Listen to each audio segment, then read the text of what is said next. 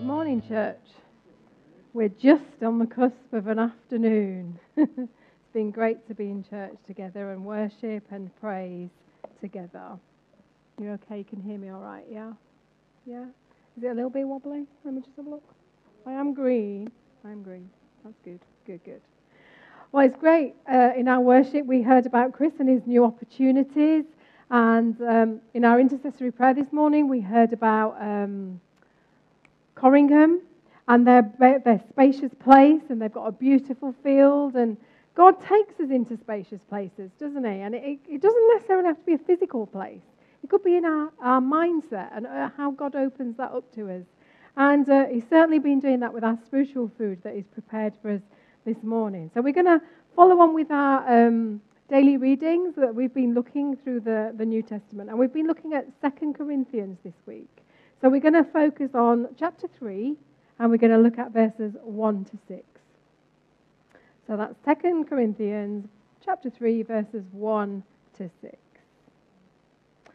Are we beginning to commend ourselves again? Or do we need, like some people, letters of recommendation to you or from you?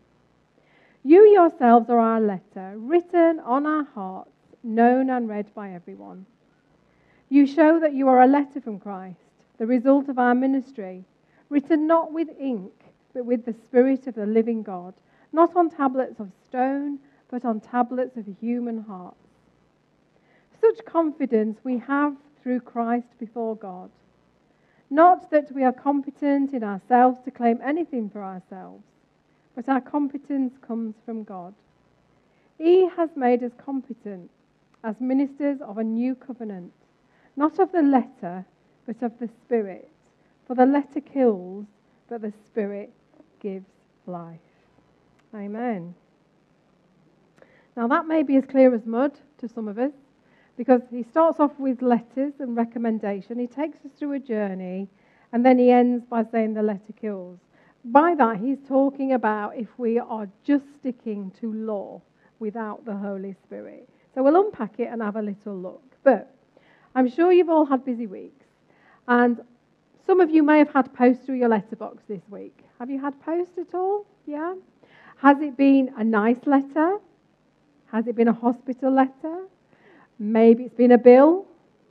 We get lots of brown envelopes through our letterbox, which are from HMRC, um, because Paul's an accountant, so we get lots of those through.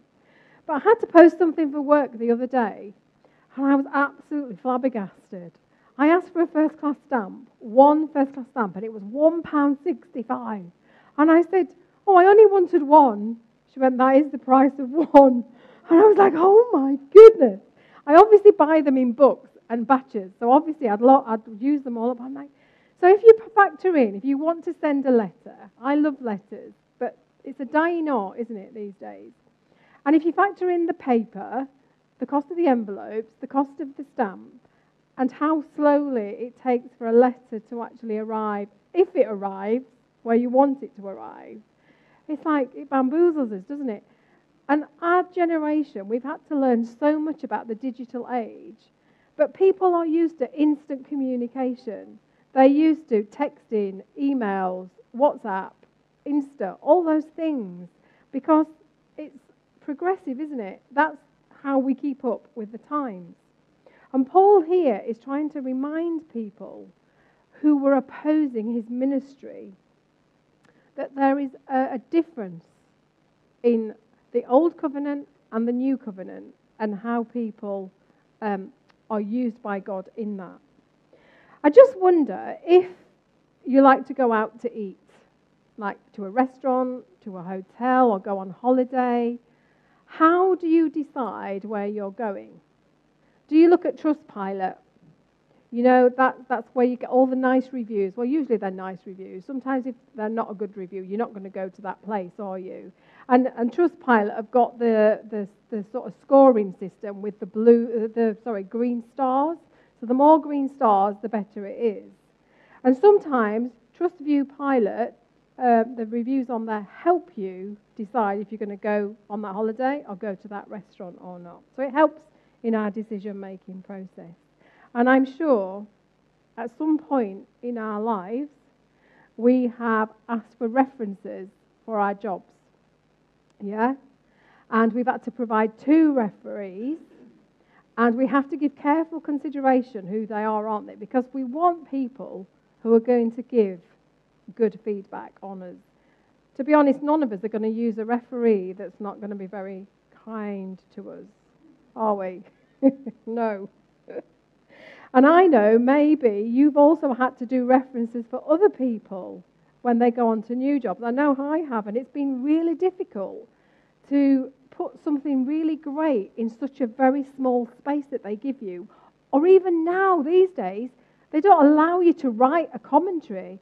You just have to tick, tick a list of questions. And I'm like, what does that tell you about the person? Yes, their timekeeping's fine. Yes, they're punctual. Yes, they're trustworthy. But what else does it tell you about them? And there must, there's often a lot of great and good things. And you want to share that and say, these are going to be an asset to you. We're sad to leave them, but they're going to be great for you. But there's no space. So when we do that, when we do a, a reference, or we ask for a reference, what we're actually asking is for a recommendation or a commendation. And maybe some of us have letters after our name, which speaks for themselves. So perhaps if you've studied and you've been to uni, maybe you've done a master's, you've got an MA or a BA, maybe you're an MSc, maybe you are an OBE or an MBE, and we're in the House of Royalty here. We have someone with a, I think it's an OBE. Um, no, it's an MBE. That's good. MBE. Got to get it right because it's really important. And they, they stand for something. Our society value that. There's a lot of work that's gone in to get those things. And we have our students going off to uni. We have our children going into school to do different things and going up through the education system. We have someone today here this morning that we've known from a tiny tot that starts her first day at work tomorrow after finishing an MA.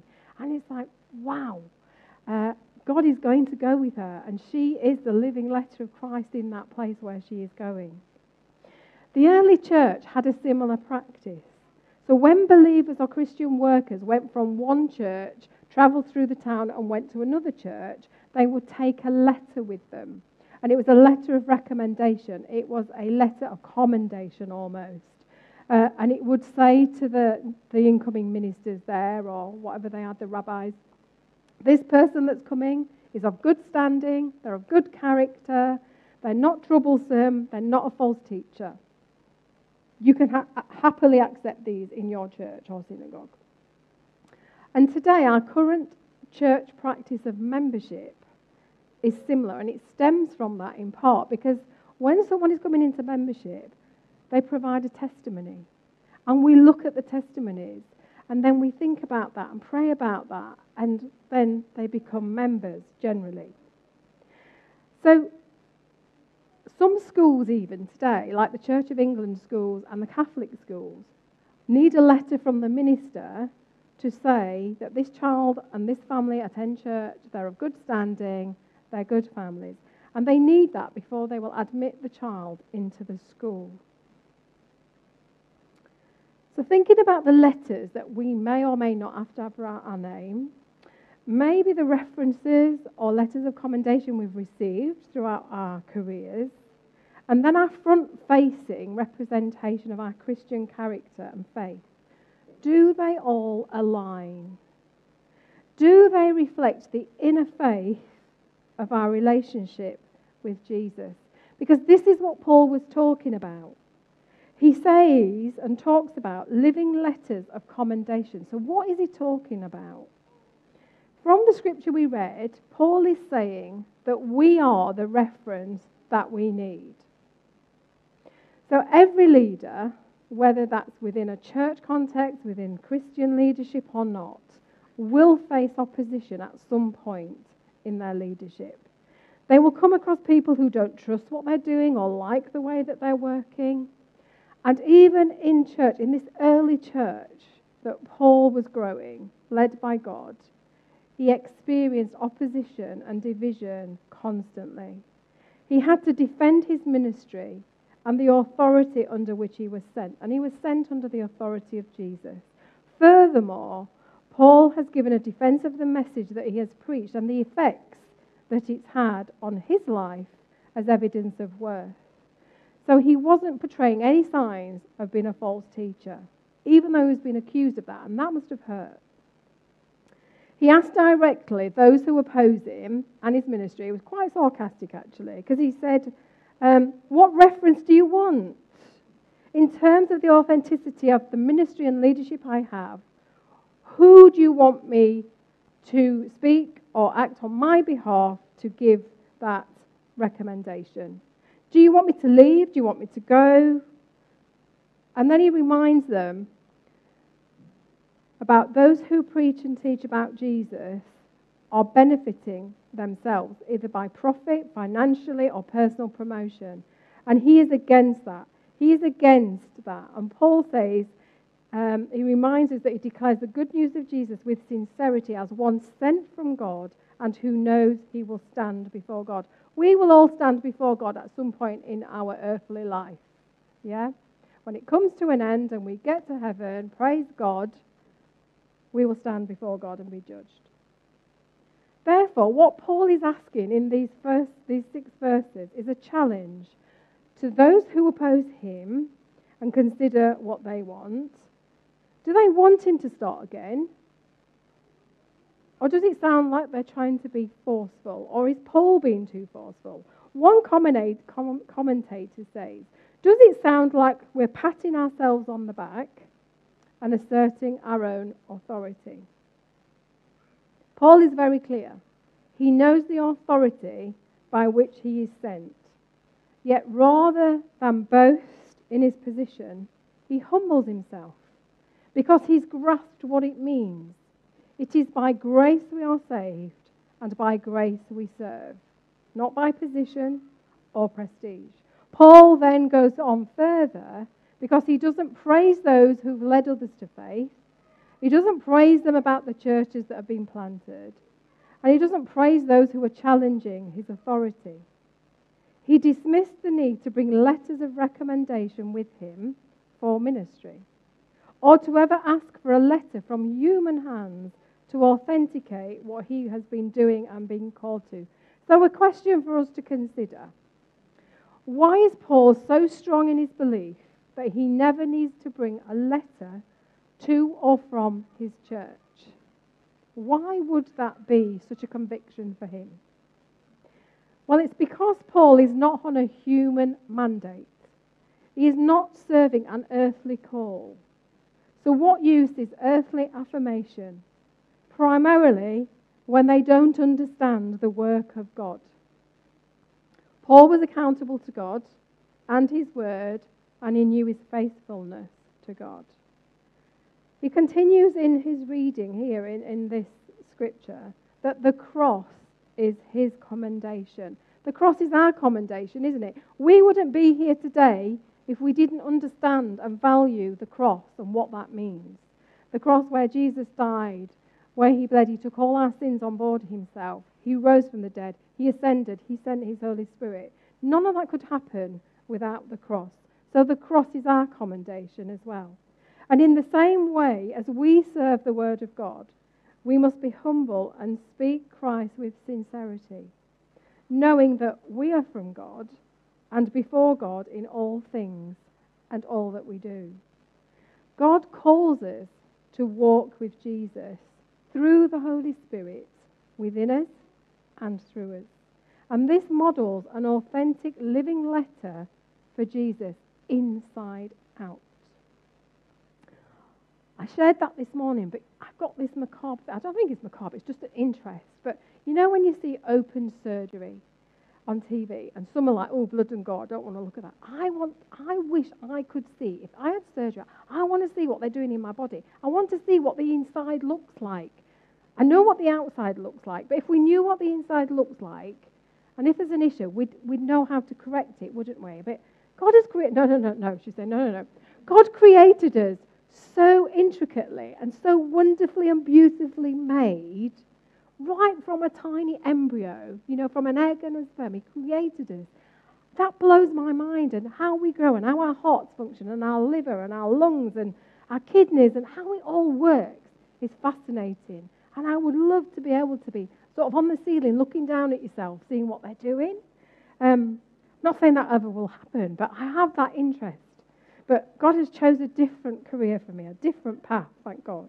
I hear you saying. But we serve a king. And I'm not talking about King Charles, because yes, we do. We are servants. However, I'm talking about Jesus. So we serve King Jesus in the kingdom. We are free from the need to be affirmed or validated by the world and its standards. Instead, we must remember that we have been called to transformation into the world with a message that is not from the world, but for it.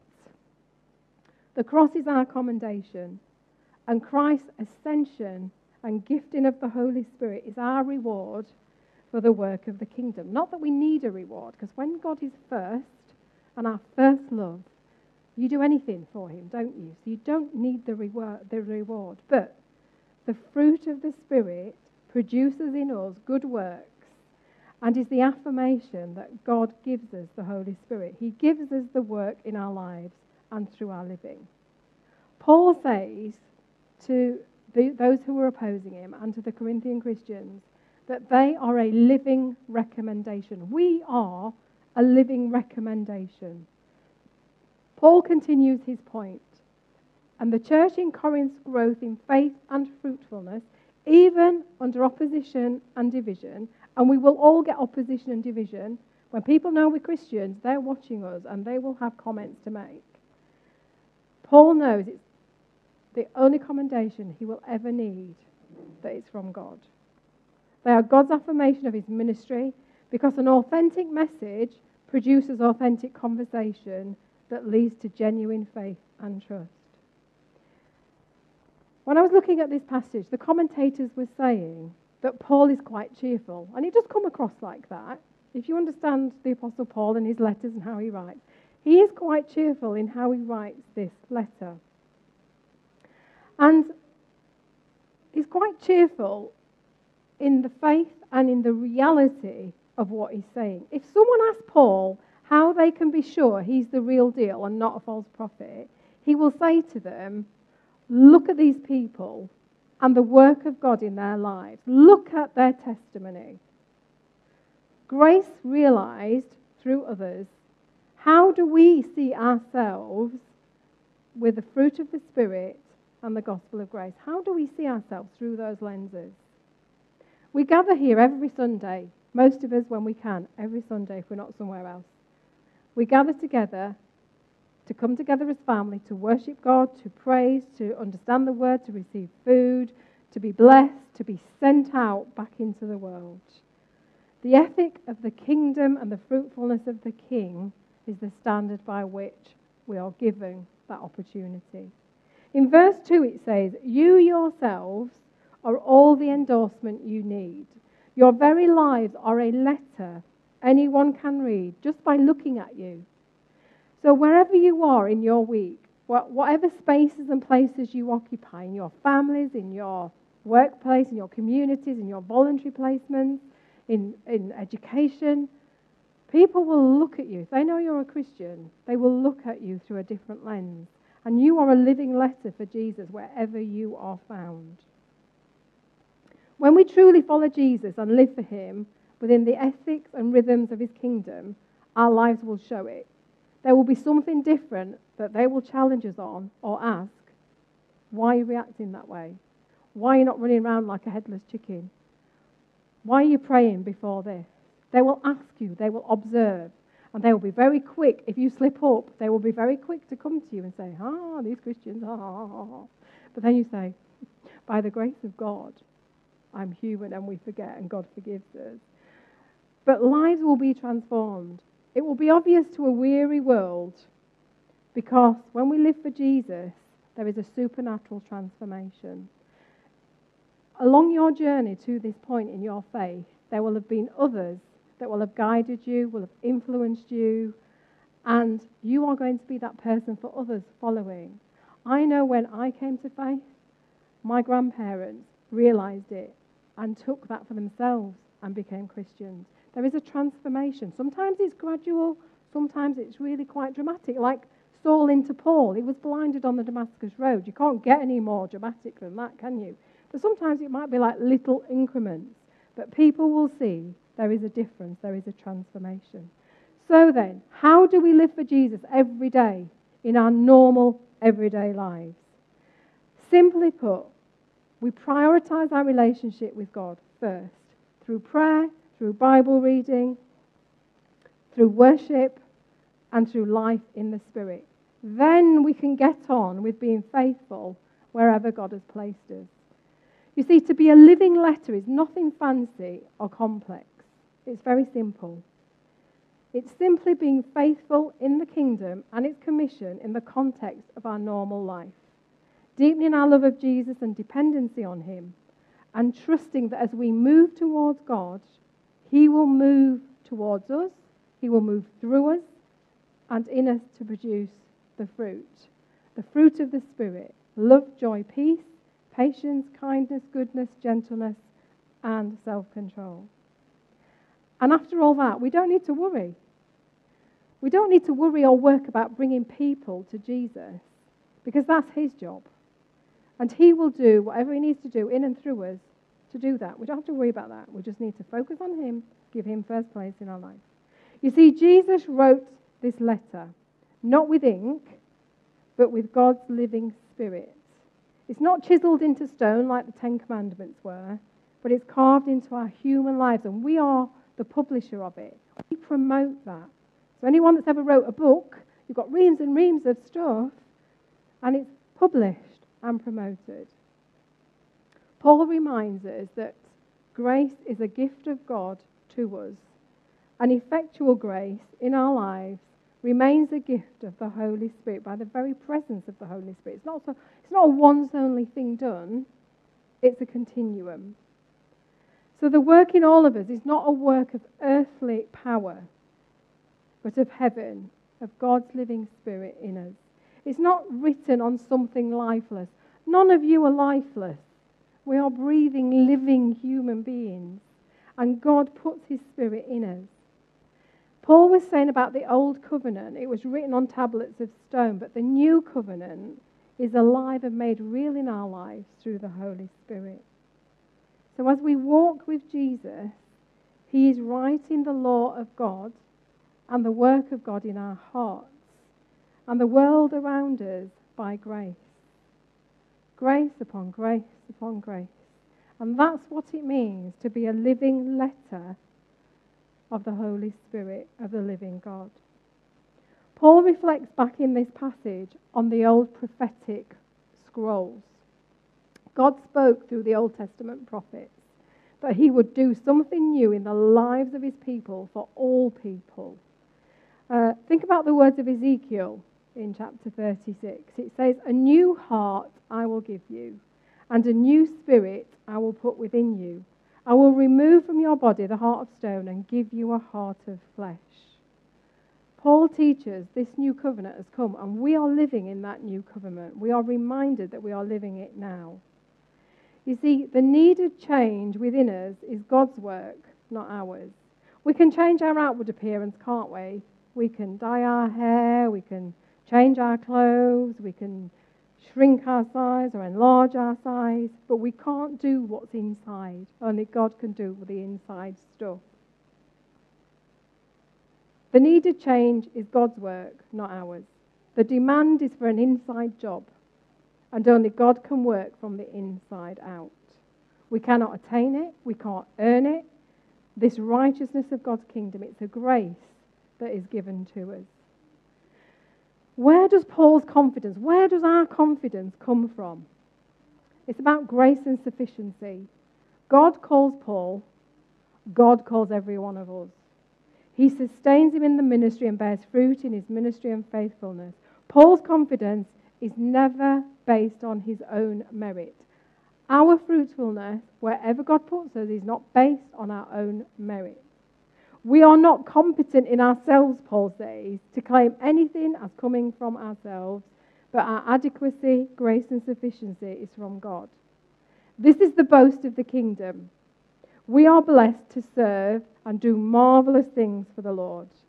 But like all the faithful saints that have gone before us, we delight even more about giving the glory to God because that's who deserves the glory.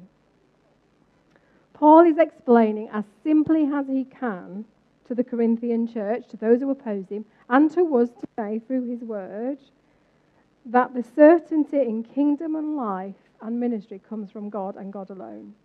It comes through the cross and through the Holy Spirit. And it's made real in us by the Holy Spirit. So we can boast in Him and live out our freedom to serve in the kingdom and to live out the beauty of Jesus rather than be under the weight of the world's pressures. How many people are in the hamster wheel doing the worldly stuff because they are pressured to keep up with a standard? We are freed from being under the weight of trying to find value by earthly standards or to be accredited by the expectations of this world. We are all ministers of the new covenant. When God calls us, when he, equips us, when He gives us His gift of His Spirit, we are the new ministers of this new covenant. And our sufficiency and our ministry comes only from Jesus in the work of the Holy Spirit. That's what we mean when we say it comes from God. The beauty of gospel life is contrasted with life under the old covenant. When the law was given to Moses, it was chiseled on stone tablets.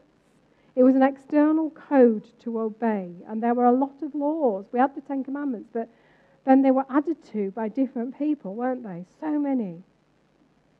The new covenant of God takes the same truths and writes them on our hearts. And Paul is saying the simple gospel truth is that the old covenant and law could not help us live in the kingdom of God without the Holy Spirit. So, let's get on with living out the kingdom life as living letters being written so that others might see and know the same hope. Wherever you are found this week, or last week, or the week after, you are the living letter of Jesus to those people. They may never really know who Jesus is apart from a swear word. They may never even know what a Bible is.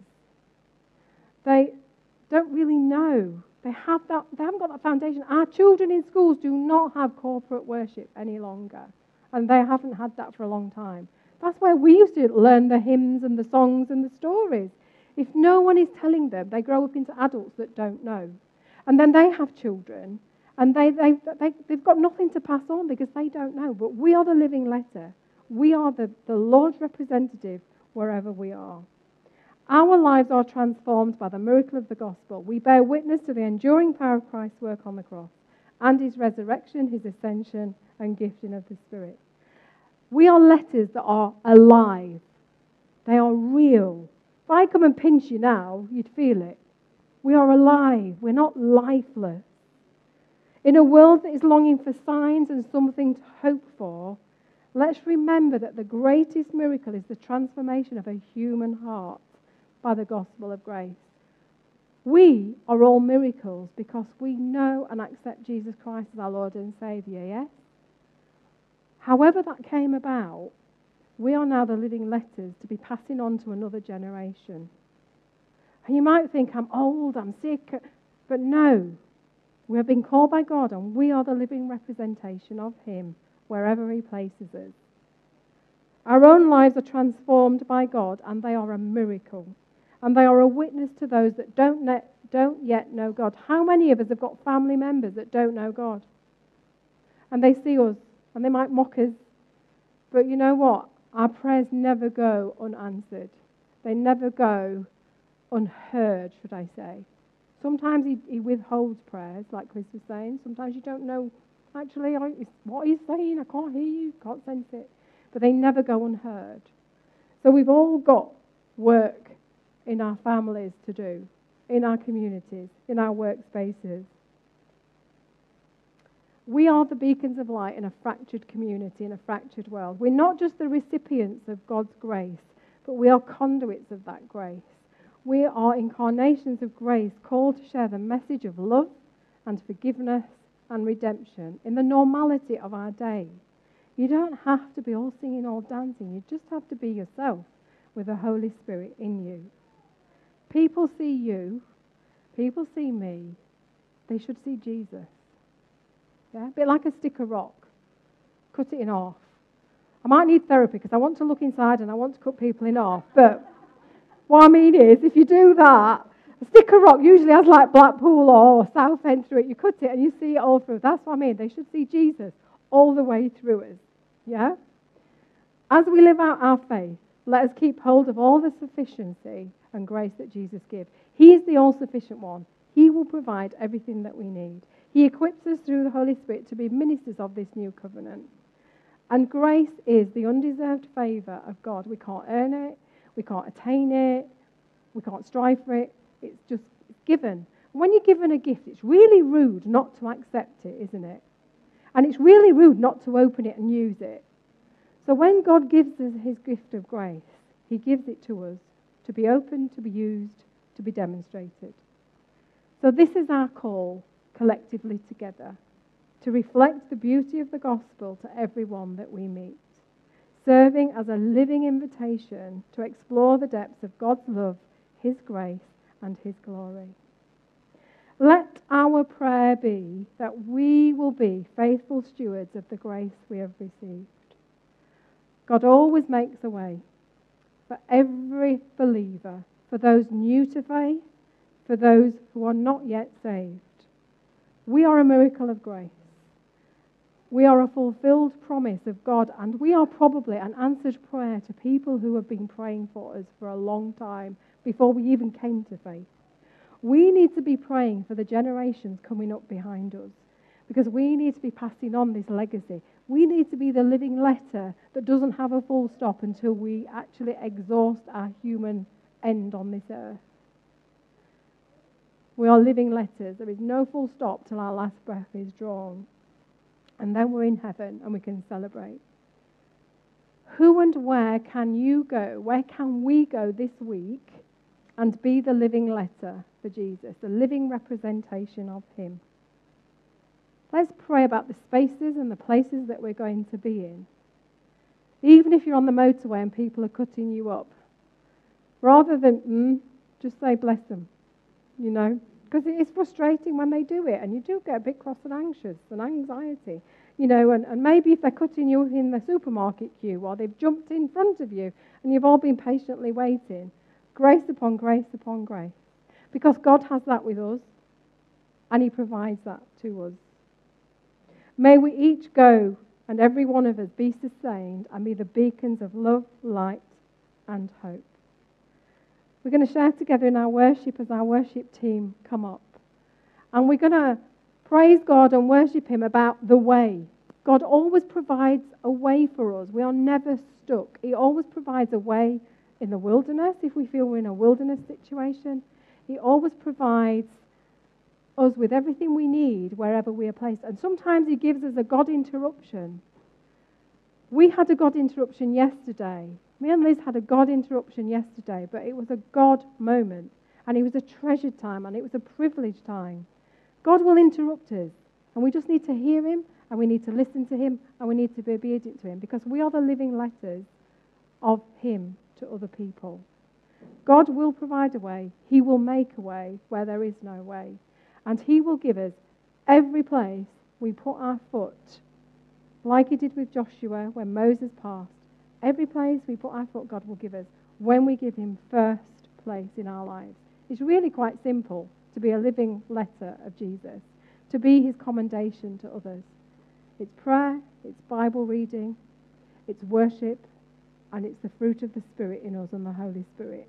I'm being attentive to that. Then all the other stuff comes into place. And He might wheedle a few bits and pieces out, but it will always make a way and He will always provide a way. So if you're thinking, my family, I've been praying for years and years, and my family are still not getting it, they're not showing, prayers never go unanswered. Abraham was told he would have descendants like millions of grains of sand did he live to see that promise fulfilled? No, he didn't. But did God promise fulfill that promise? Yes, he did. So we are the living representation. Whatever we pray for, whatever we do, wherever he sends us, and he commissions every single one of us to go out, we are that living letter. So go out, be filled, do not be disheartened. Don't forget, he's doing the work. We just have to be available and go with him. Okay? So let's just pray and then we'll share together in worship. Father God, I thank you for your love for each one of us that is so high, so wide, so deep that we don't even comprehend how much you love us. We know and thank you for the commendation of the cross that you gave your life for each and every one of us, for your Holy Spirit that you fill us over and over again, and that you place us where you need us to be. Maybe it's just for a moment or a season or a longer time, but you place us. Help us to be attentive to you, to be listening, and to trust that you will make a way as we go into our world this week. Wherever you place us, in whatever spaces, even if we're at home most of the time, there will be God interruptions in that. Just help us to hear your word and be attentive to you. We love you, we worship you, and we praise you. Thank you, God. Amen. Amen.